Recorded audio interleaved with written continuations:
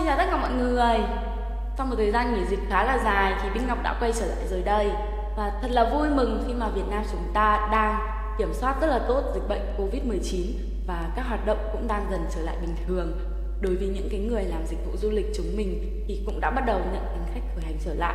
Nhưng mà chắc chắn là chúng mình cũng khuyến cáo mọi người là chưa vội vàng, chưa vội vàng khởi hành vào cái dịp nghỉ lễ 30 tháng 4 mùng 1 tháng 5 này uh, chắc chắn là kỳ nghỉ lễ năm nay sẽ ờ, kém vui và kém sôi động hơn những năm trước. Thế nhưng mà các bạn đừng vội vàng hãy cố gắng chờ đợi thêm khi mà dịch Covid-19 qua đi.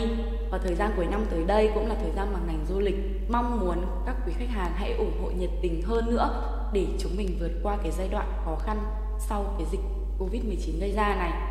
Và các bạn ơi các bạn đừng quên ủng hộ chúng mình theo dõi thông tin của Lương Gia Group trên các trang mạng xã hội như là YouTube này, Facebook này, Instagram này. Đó và Bích Ngọc rất là mong muốn sẽ được gặp lại các bạn ở những cái video tiếp theo. Xin chào và hẹn gặp lại nha. Bye bye.